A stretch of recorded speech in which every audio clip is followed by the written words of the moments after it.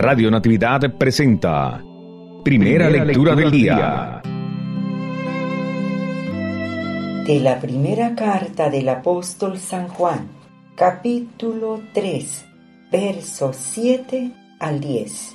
Hijos míos, no dejen que nadie los engañe. Quien practica la santidad es santo, como Cristo es santo.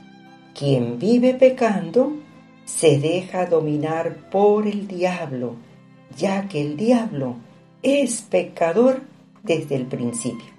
Pues bien, para eso se encarnó el Hijo de Dios, para deshacer las obras del diablo.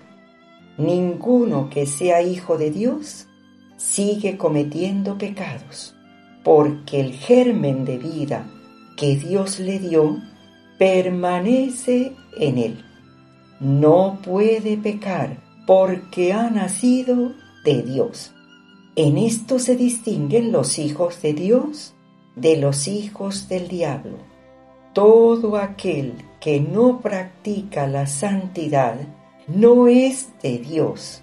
Tampoco es de Dios el que no ama a su hermano.